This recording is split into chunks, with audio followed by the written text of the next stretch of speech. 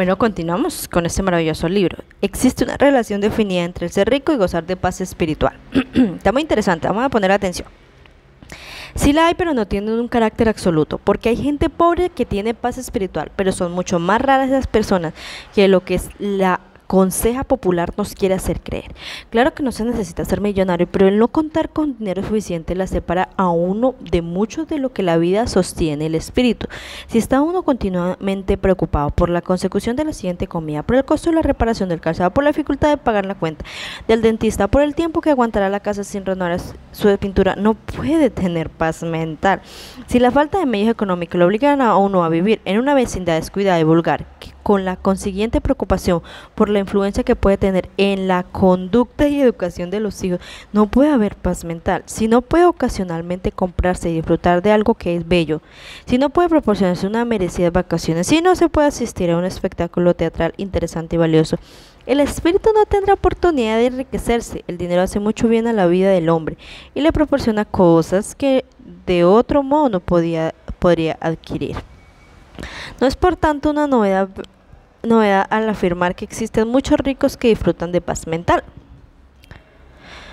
Pero esto no quita que haya otros muchos que no la tienen. Si la finalidad principal de hacer dinero consiste en atesorarla, la paz se marchará por la ventana. Uno de los fracasos que iluminaron mi experiencia y fortalecieron mi espíritu sobrevino cuando yo ya era yo ya era rica. Consiste en volverme pobre, bastantemente pobre. Consistió en volverme pobre, bastantemente pobre. Las circunstancias que rodearon el hecho son reveladoras. Quizás como una compensación a los miserables días de mi niñez, me enamoré de las grandes mansiones, los automóviles lujosos, automóviles lujosos, las propiedades amplias y cuidadas y otros símbolos de la riqueza. O tal, vez, o tal vez solo me ajusté a lo usual en esa época que demandaba que cuando un hombre tenía dinero lo ostentara. Los millonarios actuales son mucho menos ostentosos, pero como quiera que haya sido, mis libros se vendían bien. Yo tenía renombre como adiestrador de agentes de ventas, otras empresas prosperaban y por tanto me pareció impredecible el que yo tuviera un automóvil de los más caros, un Rolls Royce. Al poco tiempo era propietario no de uno, sino de dos. Al después adquirí una bata propiedad de las montañas, Castile, al norte de la ciudad de Nueva York, donde albergué mis flamantes autos. Esa propiedad era para mí un monumento a mis realizaciones. como la mansión requería de servidores, me contraté criados, personal de mantenimiento, capataces para que vigilaran al personal, etc. De grandes fiestas que hubiera hecho padecer de envidia a John Rockefeller. Hubo una ocasión en que extendí una invitación general a una comida de barbacoa esperando que asistieran unas 100 personas, pero fueron 3.000 las que presentaron. La carretera estaba congestionada por la afluencia de vehículos en un tramo de más de 3 kilómetros, en ambos sentidos, cosa que los policías de camino no me perdonaron jamás. El ala destinada el ala destinada a los huéspedes podía albergar a 40 personas confortables y rara vez no estaba llena. En una ocasión fueron tantos los huéspedes que hubo que alojarse en mis habitaciones privadas. En esa ocasión llegué a casa en busca de tranquilidad, pero me encontré con que un desconocido dormía en mi cama. Pero lo peor era que vestía mi propio pijama. Más corramos el telón sobre la mansión Hill. Se me fue de las manos a cambio de una bicoca poco después del pánico financiero en 1929. Cuando recobré de la impresión inicial que aliviada me sentí, qué aliviado me sentí, qué paz, qué renovada energía mi espíritu que hasta entonces había estado en brazos de la preocupación. Tres de mis amigos cuyas fortunas combinadas eran menos que lo que perdí en la catástrofe no tenía fe en el gran principio que decía que toda adversidad lleva en su seno una semilla de un beneficio equivalente. Uno de ellos saltó de lo alto de un de un elevado edificio en Wall Street, otro se voló la tapa de los sesos de un pistoletazo. El tercero fue rescatado del río Hundon seis semanas después de haberse lanzado al agua.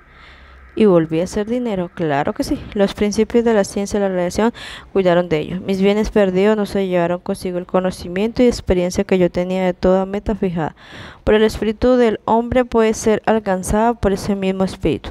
A partir de entonces he vivido con comodidad pero sin ostentación. Porque ¿de qué sirve el dinero cuando no se convierte en muella de molino? En, una muela de molino. ¿Mm? ¿Cómo la vi? ¿Cómo la vi? ¿Cómo la vi? ¿Cómo la vi? Interesante. simplemente interesante. Eh, creo que lo que trataba de decir, que lo importante es la autoconfianza y si hay autoconfianza, créeme que va a haber paz espiritual. Cuando tú confías en tus capacidades de que puedes solucionar tu vida personal, no, no solucionar la vida de los demás, del hecho de que tú ya estés tranquilo con que tú puedas solucionar entender tu vida, saber para dónde vas, saber si pasa algo, estoy segura de que se va a solucionar, de que nada es eterno, eh, simplemente gozas de una paz espiritual. La, los ojos se enfocan de mejor man los ojos se enfocan de una manera correcta y adecuada, mostrándote todos los caminos. Simplemente es lo que todo mundo quisiera, vivir esa vida maravillosa que nos pintan, pero nuevamente digo que nos adiestran a enfrascarnos en un mundo donde si tú quieres tener éxito debes sufrir y como a casi nadie nos gusta sufrir, mejor quédate en la seguridad que te da el gobierno, la familia, tu pareja, tus hijos y quédate ahí. Solo los que no tienen nada que perder, que se encaminen a ese mundo tan bello que es el de emprendimiento. Entonces ahí nos podemos dar cuenta este señor sí supo pasar la adversidad porque tenía ya una autoconfianza propia. Tuvo un problema financiero grande, pero los compañeros, porque hay momentos de suerte, yo no digo que no, tuvieron su momento, pero se les olvidó lo más importante, la autoconfianza. Si ellos ya habían podido lograr tener todo ese dinero, muy posiblemente podían recuperarlo, pero no creían ellos. Fue un momento de debilidad y aún tenían el, el chip de la familia común.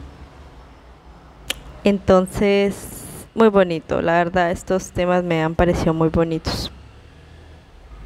Muy bonitos. Mira, por ejemplo, sigue acá este. Asegúrese de que su trabajo y su dinero beneficien a alguien más, además de usted. Hermoso, ¿no? Hermoso. ¿Quién piensa en beneficiar a otra persona? Nadie. Siempre estamos pensando en beneficiarnos a nosotros, en comprar el mejor carro, en comprar la mejor sala, en comprar el mejor comedor, en mandar a los hijos a la mejor escuela, en mostrar más, mostrar más. Pero ¿hemos pensado en otras personas? Yo siempre me voy a enfocar en la autoconfianza. En la autoconfianza, en el amor propio. Tú te amas y tú eres capaz de amar a otra persona. Dice así, uno de los resultados positivos que obtuve después de cerrar firmemente la puerta a mis experiencias en las montañas Catskill, fue este, que tuve tiempo de escribir más libros, porque estos me han beneficiado a mí y a mis semejantes, con lo cual han sido mayor beneficio que el dinero. Cuando Adrian Carney decidió emplear sus riquezas en la creación de bibliotecas públicas, aumentó en alto grado, de, alto grado su paz espiritual. Henry Ford era bastante reacio a desprenderse de su dinero, cuando a la larga aprendió que era posible hallar gente que lo mereciera y empleara bien. Estoy seguro de que experimentó la misma tranquilidad y satisfacción. Hay otro principio importante que asegura que al crecer nuestra fortuna también crecerá nuestra paz espiritual y es no se perjudique a nadie en, aras al triunfo personal. Ese sí ya es otro subtítulo. Entonces lo dejamos para el próximo video. Bueno, me queda tiempo y voy a dar mi, punto de vista ya para terminar. Pero te digo, este libro me está encantando. Ahorita estoy reflexionando muchas cosas. Porque yo, el, el momento que me lo leí, yo era más joven. Tendría que, hace como cinco años que me lo leí. Y de aquí a esos cinco años se han pasado y he tenido una formación espiritual y mental madura, ¿no? No con el tiempo madura, para que eso no, puede decir que no. Y, y pues igual todavía me falta mucho que madurar. El hecho de que yo dé unos consejos o mi punto de vista no significa que yo sea una millonaria, que me la sé todo, que ya construí empresas, fracasé y volví a construir empresas, así como todo lo hice este maravilloso personaje. Pues no, no, no soy esa persona, aspiro a serlo, pero es difícil y hice un maravilloso, estoy haciendo un maravilloso experimento. Eh, también estoy haciendo un maravilloso libro que espero ustedes me, me apoyen. Se llama mm, El diario de un empleado queriendo emprender. Algo así. El título no lo he definido muy bien, pero te lo digo así. Y estoy haciendo el experimento de Eh, yo soy empleada, entonces me embarqué a ese mundo de emprendimiento sin las herramientas, sin la autoconfianza propia y pues que cree que me ha ido pues mal. Después de salir un mundo en que tú tienes que estar segura a emprender, donde no hay seguridad, donde tienes que, eh, vuelvo y te digo, tener una total confianza de tus habilidades y efectivamente no tengo la confianza porque siempre he tenido la seguridad de mi familia de mi trabajo. Entonces decidí emprender hace ya alrededor de seis meses. Me fue mal. A, este punto me ha ido mal. Me, tocó, me toca volver nuevamente a mi, a mi zona de confort, a mi zona de seguridad. es frustrante. Pero todo esto, bueno, lo hice personalmente, pero quiero a ver qué se siente que muchas personas lo puedan hacer. Les quiero dar mi testimonio. Vuelva a, a mi zona de confort para retomarme económicamente porque como lo decía el anterior capítulo, una persona con muchas ideas en la cabeza, muchas preocupaciones, no va a adquirir la paz espiritual. Y para nadie es un secreto que las deudas, las responsabilidades financieras quitan mucha paz. En ese momento yo, mi paz fue violada por esto. Vuelvo te digo, emprendí, salté sin preocupación, sin, eh, sin preocupación, sino sin sin, ¿cómo sería? Sin seguridad, sin haberme preparado, sin sin estar preparada para este camino.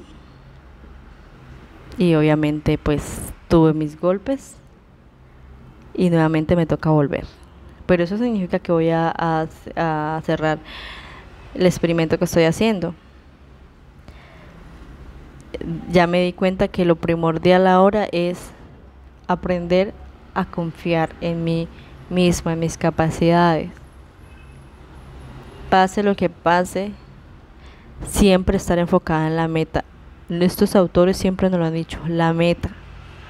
Siempre va a haber distractores, pero si tú no confías en tus habilidades de que llegarás a esa meta, los distractores te van a desenfocar y vas a estar como en este momento estoy yo, confundida, porque créeme, o sea, en cierto modo tú te sientes fuerte, tú sientes, ya conoces acerca de los temas, sabes que si tú te enfocas en problemas vas a traer problemas, si te enfocas en parte positiva las cosas se, te, van a dar y la verdad, gracias a Dios, las cosas se están dando fácilmente y maravillosamente.